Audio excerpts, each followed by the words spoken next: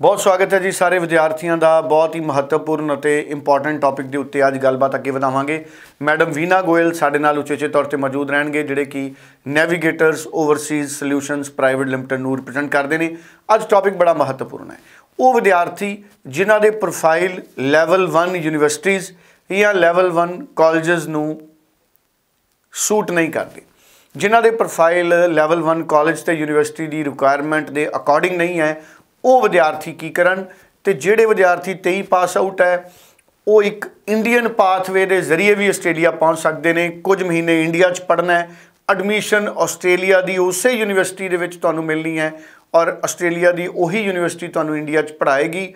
ਕੁਝ ਮਹੀਨਿਆਂ ਬਾਅਦ ਤੁਸੀਂ ਆਸਟ੍ਰੇਲੀਆ ਜਾ ਕੇ ਪੜੋਗੇ ਇਹ ਪੂਰਾ ਪ੍ਰੋਸੈਸ ਸਾਡੇ ਨਾਲ ਸ਼ੇਅਰ ਕਰਨਗੇ। ਮੈਮ ਵੀਨਾ ਗੋਇਲ ਵੀਨਾ ਗੋਇਲ ਮੈਮ ਬਹੁਤ ਬਹੁਤ ਸਵਾਗਤ ਹੈ ਤੁਹਾਡਾ ਔਰ ਮੈਂ ਚਾਹੂੰਗਾ ਕਿ ਇਸ ਟੌਪਿਕ ਨੂੰ ਬਹੁਤ ਚੰਗੀ ਤਰ੍ਹਾਂ ਤੁਸੀਂ ਐਕਸਪਲੇਨ ਕਰੋ ਤਾਂ ਕਿ ਇੱਕ ਇੱਕ ਪੁਆਇੰਟ ਵਿਦਿਆਰਥੀ ਸਮਝ ਜਾਣ। ਕਿ ਜਿਹੜੇ ਸਟੂਡੈਂਟਸ ਇੰਡੀਆ ਦੇ ਵਿੱਚ ਹੈ, ਆਸਟ੍ਰੇਲੀਆ ਜਾਣਾ ਚਾਹ ਰਹੇ ਆ ਥੋੜਾ ਜਿਹਾ ਆਸਟ੍ਰੇਲੀਆ ਗੈਪ ਦੇ ਇਸ਼ੂ ਨਾਲ ਜਾਂ ਕੋਈ ਵੀ ਪ੍ਰੋਬਲਮ ਹੋਏ ਤੇ ਫਿਰ ਐਡਮਿਸ਼ਨ ਨਹੀਂ ਹੁੰਦਾ। ਉਹ ਸਟੂਡੈਂਟਸ ਕੀ ਕਰਨ? ਕਿਉਂਕਿ 23 ਪਾਸ ਆਊਟ ਬੱਚਾ ਜੇ ਹੁਣ ਅਪਲਾਈ ਕਰਦਾ, ਜੁਲਾਈ ਵਾਸਤੇ ਅਪਲਾਈ ਹੋਏਗਾ। ਬਾਈ ਚਾਂਸ ਉਹ ਕਿਸੇ ਵਜ੍ਹਾ ਨਾਲ ਜੁਲਾਈ ਦਾ ਵੀ ਨਹੀਂ ਮਿਸ ਹੋ ਜਾਂਦਾ ਤੇ ਉਹਦੇ ਕੋਲ ਕੋਈ ਆਪਸ਼ਨ ਨਹੀਂ ਹੈ। ਉਹਦੇ ਵਾਸਤੇ ਸਾਡੇ ਕੋਲ ਜਿਹੜਾ ਹੈ ਪਾਥਵੇ ਪ੍ਰੋਗਰਾਮ ਹੈ। ਜਾਂ ਤੇ ਸਟੂਡੈਂਟ ਸਿੰਗਾਪੁਰ ਚਲਾ ਜਾਏ, ਸਿੰਗਾਪੁਰ 1 ਈਅਰ ਪੜ੍ਹ ਕੇ ਸੈਕੰਡ ਈਅਰ ਉਹ ਆਸਟ੍ਰੇਲੀਆ ਚਲਿਆ ਜਾਏਗਾ। ਜਾਂ ਇੰਡੀਆ ਦੇ ਵਿੱਚ ਜਿਹੜਾ ਸਟੱਡੀ ਕਰ ਸਕਦਾ, ਉਹਦੇ ਫਾਇਦੇ ਮੈਂ ਤੁਹਾਨੂੰ ਦੱਸਦੀ ਹਾਂ। ਇੰਨੇ ਕੁ ਫਾਇਦੇ ਹੈ there are so many advantages student ਜਿਹੜਾ ਹੈ ਇੱਥੋਂ ਆਨਲਾਈਨ ਸਟੱਡੀ ਕਰੇਗਾ। 1 ਇਅਰ ਦਾ ਪ੍ਰੋਗਰਾਮ 6 ਮੰਥ ਵਿੱਚ ਕੰਪਲੀਟ ਕਰੇਗਾ। ਇਹ ਨਹੀਂ ਕਿ ਉਸ ਤੇ ਬੜਾ ਪ੍ਰੈਸ਼ਰ ਪੜ ਰਿਹਾ ਉਸ ਤੱਕ ਕੋਈ ਪ੍ਰੈਸ਼ਰ ਨਹੀਂ ਪੈ ਰਿਹਾ। ਉਹ ਜਸਟ ਮਤਲਬ ਇੱਕ ਸਮਝ ਲਓ ਕਿ ਆਨਲਾਈਨ ਸਟੱਡੀਜ਼ ਹੈ ਅਸਾਈਨਮੈਂਟਸ ਜਮ੍ਹਾਂ ਕਰਨੀ ਹੈ ਇਨ ਦਾ ਮੀਨ ਟਾਈਮ ਉਹ ਆਪਣੀ ਆਇਲਟਸ ਵੀ ਕਰ ਸਕਦਾ ਆਪਣੇ ਜਿਹੜੇ ਫਾਈਨੈਂਸ਼ੀਅਲ ਡਾਕੂਮੈਂਟਸ ਵੀ ਤਿਆਰ ਕਰ ਸਕਦਾ ਤੇ ਉਹਦਾ ਜਿਹੜਾ ਗੈਪ ਕਾਊਂਟ ਨਹੀਂ ਹੋਏਗਾ।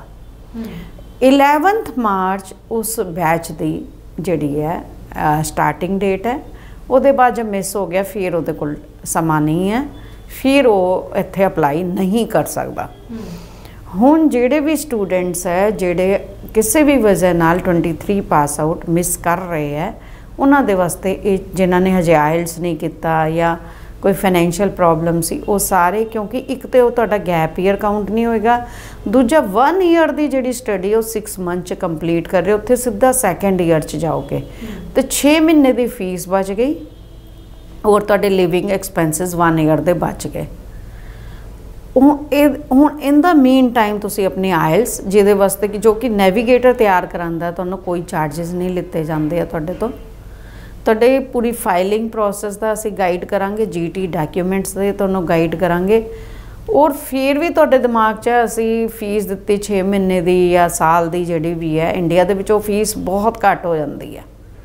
ਜਿਹੜੀ ਫੀਸ ਉੱਥੇ ਜਾ ਕੇ ਤੁਸੀਂ ਕੋਈ 30000 ਡਾਲਰ ਦੇਣੀ ਹੈ, ਉਹ ਤੁਹਾਨੂੰ ਕੱਲ੍ਹ ਹੀ 6 ਲੱਖ 6.5 ਲੱਖ 'ਚ ਤੁਹਾਨੂੰ ਟੋਟਲ ਕੋਰਸ ਦੀ ਫੀਸ ਪੈਂਦੀ ਹੈ। ਔਰ ਜਦ ਤੁਹਾਡਾ ਵੀਜ਼ਾ ਨਹੀਂ ਲੱਗਦਾ ਕਿਉਂਕਿ ਇਹਦੇ ਵਿੱਚ ਵੀਜ਼ਾ ਚਾਂਸਸ 100% ਹੁੰਦੇ ਆ। ਨਹੀਂ ਲੱਗਦਾ ਤੇ ਫੀ ਰਿਫੰਡ ਹੈ। ਜਸਟ ਤੁਹਾਡਾ ਕੋਈ ਜੀਐਸਟੀ ਵਗੈਰਾ ਥੋੜਾ ਬਹੁਤ ਕੱਟ ਕੇ 5-6% ਉਹ ਮੈਂ ਕਿਹਾ 25-30000 ਰੁਪਏ ਸਾਰਾ ਬੰਦਾ ਹੈ। ਤੇ ਉਹਦੇ ਬਾਅਦ ਉਹ ਟੋਟਲ ਫੀ ਰਿਫੰਡ ਮਤਲਬ ਕਿਸੇ ਨੇ ਤੁਹਾਨੂੰ 6 ਮਹੀਨੇ ਪੜਾਇਆ 6 ਮਹੀਨੇ ਸਾਰੀ ਤਿਆਰੀ ਕਰਾਈ ਹੈ ਔਰ ਉਹਦੇ ਬਾਅਦ ਫੀ ਰਿਫੰਡ ਕਰ ਰਹੇ ਦੈਟ ਮੀਨਸ ਵੀਜ਼ਾ ਆਉਣ ਦੀ 100% ਸੰਭਾਵਨਾ ਹੈ।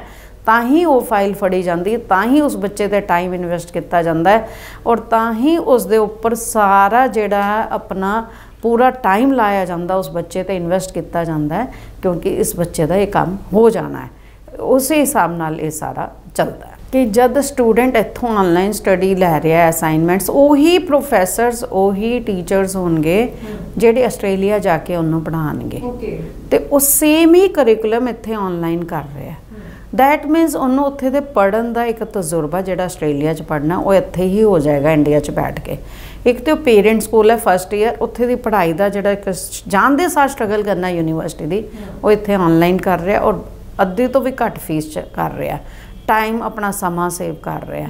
ਤੇ ਇਸ ਕਰਕੇ ਜਦ ਉੱਥੇ ਜਾਏਗਾ ਤੇ ਪੜ੍ਹਾਈ ਤੇ ਉਹਨੂੰ ਪਤਾ ਹੀ ਕਿੱਦਾਂ ਹੋਣੀ ਹੈ ਫਿਰ ਤਾਂ ਜਸਟ ਉੱਥੇ ਐਡਜਸਟ ਹੋਣ ਵਾਲੀ ਗੱਲ ਹੋ ਜਾਏਗੀ।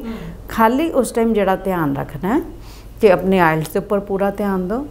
ਤੇ ਜਿਹੜੇ ਪੇਰੈਂਟਸ ਆ, ਉਹਨਾਂ ਨੇ ਆਪਣੇ ਜੀਟੀ ਦੇ ਡਾਕੂਮੈਂਟਸ ਜਿਹੜੇ ਫਾਈਨੈਂਸ਼ੀਅਲ ਔਰ ਇਨਕਮ ਟੈਕਸ ਰਿਟਰਨ ਆ, ਸਾਰੀ ਜਿਹੜੀ ਮੈਨੇਜ ਕਰਨੀ ਆ, ਬਣਾਉਣੀ ਆ ਉਹਨਾਂ ਨੇ। ਤੇ ਮਤਲਬ ਜੋ ਵੀ ਫੰਡਸ ਰਿਕੁਆਇਰਮੈਂਟ ਪੇਰੈਂਟਸ ਨੂੰ ਪਤਾ ਨਹੀਂ ਹੁੰਦਾ। ਇਸੇ ਕਰਕੇ ਜਿਹੜੇ ਕਿਉਂਕਿ 22 ਦਾ ਸਟੂਡੈਂਟ ਅਸੀਂ ਨਹੀਂ ਲਵਾਂਗੇ ਇਸ ਪਾਥਵੇ ਪ੍ਰੋਗਰਾਮ 'ਚ। ਖਾਲੀ 23 ਦਾ ਸਟੂਡੈਂਟ ਲਵਾਂਗੇ। ਔਰ ਬਹੁਤ ਸਾਰੀ ਯੂਨੀਵਰਸਿਟੀਆਂ ਜਿਹੜੀ ਇਹ ਕਰਾ ਰਹੀਆਂ। ਮੈਲਬਨ ਦੀ ਲਾਟਰੋਬ ਯੂਨੀਵਰਸਿਟੀ ਹੋ ਗਈ ਪਰਥ ਦੀ ਐਡਿਥ ਕਵਨ ਯੂਨੀਵਰਸਿਟੀ ਹੋ ਗਈ ਬ੍ਰਿਸਬੇਨ ਦੀ ਗ੍ਰਿਫ ਗ੍ਰਿਫਿਥ ਯੂਨੀਵਰਸਿਟੀ ਹੋ ਗਈ। ਇੱਦਾਂ ਬਹੁਤ ਸਾਰੀ ਯੂਨੀਵਰਸਿਟੀਆਂ ਜਿਹੜੀ ਜਿਨ੍ਹਾਂ ਦਾ ਇਹ ਪਾਥਵੇ ਪ੍ਰੋਗਰਾਮ ਹੈ। ਔਰ ਸਾਰੀ ਬਹੁਤ ਅੱਛੀ ਯੂਨੀਵਰਸਿਟੀਆਂ ਜਿਹਦੇ ਵਿੱਚ ਸਟੂਡੈਂਟ ਜਾ ਸਕਦਾ ਤੁਸੀਂ ਇਹ ਦੇਖੋ ਕਿ ਇਸ ਪ੍ਰੋਗਰਾਮ ਦੇ ਨਾਲ ਸਟੂਡੈਂਟ ਨੂੰ ਆਪ ਕੌਨਫੀਡੈਂਸ ਬਣ ਰਿਹਾ ਹੈ ਕਿ ਉਹੋ ਜਿਹਾ ਪ੍ਰੋਗਰਾਮ ਜਿਹੜਾ ਕਿ ਮੈਂ ਇੱਥੇ ਪੜ੍ਹ ਰਿਹਾ ਔਰ 1% ਮੇਰਾ ਵੀਜ਼ਾ ਨਹੀਂ ਹੁੰਦਾ ਕਿਉਂਕਿ ਇਹਦੇ ਵਿੱਚ ਗੈਪ ਕਾਊਂਟ ਨਹੀਂ ਹੋਇਆ। ਤੁਸੀਂ ਸੇਮ ਯੂਨੀਵਰਸਿਟੀ ਦਾ ਪ੍ਰੋਗਰਾਮ ਫਸਟ ਇਅਰ ਇੱਥੇ ਕੰਪਲੀਟ ਕਰਤਾ ਤੇ ਵੀਜ਼ਾ ਆਫੀਸਰ ਨੂੰ ਵੀ ਪਤਾ ਸੇਮ ਯੂਨੀਵਰਸਿਟੀ ਇੱਥੇ ਪੜ੍ਹਾ ਰਹੀ ਹੈ ਸੇਮ ਯੂਨੀਵਰਸਿਟੀ ਉੱਥੇ ਹੈ। ਤੇ ਬੱਚਾ ਜਿਹੜਾ ਜੈਨੂਇਨ ਇੰਟੈਂਸ਼ਨ ਹੁੰਦਾ ਜਿਹੜਾ ਪੜਨ ਦਾ ਉਹ ਇਹਦੇ ਵਿੱਚ ਪਹਿਲੇ ਹੀ ਸਟੂਡੈਂਟ ਨੇ ਪ੍ਰੂਵ ਕਰਤਾ ਕਿ ਮੇਰਾ ਇੰਟੈਂਸ਼ਨ ਠੀਕ ਹੈ। ਹੁਣ ਰਿਸਕ ਕੌਣ ਲੈ ਰਿਹਾ? ਰਿਸਕ ਯੂਨੀਵਰਸਿਟੀ ਲੈ ਰਹੀ ਹੈ ਜਿਹੜਾ ਤੁਹਾਡਾ ਪੈਸਾ ਵਾਪਸ ਕਰ ਰਹੀ ਹੈ 1% ਨਹੀਂ ਹੁੰਦਾ ਤੇ ਤੁਹਾਨੂੰ ਪੈਸਾ ਸਾਰਾ ਵਾਪਸ ਮਿਲ ਰਿਹਾ ਇਸ ਤੋਂ ਵੱਡੀ ਗਾਰੰਟੀ ਤੁਹਾਨੂੰ ਕੋਈ ਵੀ ਨਹੀਂ। ਜੀ ਬਹੁਤ ਬਹੁਤ ਧੰਨਵਾਦ। ਸੋ ਵੱਖ-ਵੱਖ ਪੁਆਇੰਟਸ ਨੇ ਜਿਹੜੇ ਸਟੂਡੈਂਟਸ ਨਾਲ ਜੁੜੇ ਹੋਏ ਇੰਡੀਅਨ ਪਾਥਵੇ ਨਾਲ ਜੁੜੇ ਹੋਏ ਫੀਸ ਨਾਲ ਜੁੜੇ ਹੋਏ ਐਡਮਿਸ਼ਨ ਦੇ ਪ੍ਰੋਸੈਸ ਨਾਲ ਜੁੜੇ ਹੋਏ ਜੀਟੀ ਨਾਲ ਜੁੜੇ ਹੋਏ ਉਹ ਸਾਰੇ ਜਿਹੜੇ ਫੈਕਟਸ ਨੇ ਪੁਆਇੰਟਸ ਨੇ ਸਾਡੇ ਨਾਲ ਕਲੀਅਰ ਕੀਤੇ ਨੇ ਮੈਮ ਵੀਨਾ ਗੋਇਲ ਨੇ। ਸਟੂਡੈਂਟਸ ਨੂੰ ਕੋਈ ਵੀ ਕਨਫਿਊਜ਼ਨ ਹੈ ਤੇ ਸਕਰੀਨ ਤੇ ਨੰਬਰ ਹੈ, ਇਸ ਨੰਬਰ ਤੇ ਤੁਸੀਂ ਫੋਨ ਕਰ ਸਕਦੇ ਹੋ ਮੈਮ ਵੀਨਾ ਗੋਇਲ ਦੇ ਨਾਲ। ਤੁਸੀਂ ਇੰਡੀਆ ਦੇ ਕਿਸੇ ਵੀ ਹਿੱਸੇ ਚੋਂ ਫਾਈਲ ਮੂਵ ਕਰ ਸਕਦੇ ਹੋ ਮੈਡਮ ਵੀਨਾ ਗੋਇਲ ਜਾਂ ਉਹਨਾਂ ਦੀ ਟੀਮ ਨਾਲ ਸੰਪਰਕ ਕਰਕੇ। ਚੰਡੀਗੜ੍ਹ ਦੇ ਵਿੱਚ ਮੈਮ ਵੀਨਾ ਗੋਇਲ ਦਾ ਆਫਿਸ ਹੈ। Thank you so much thank you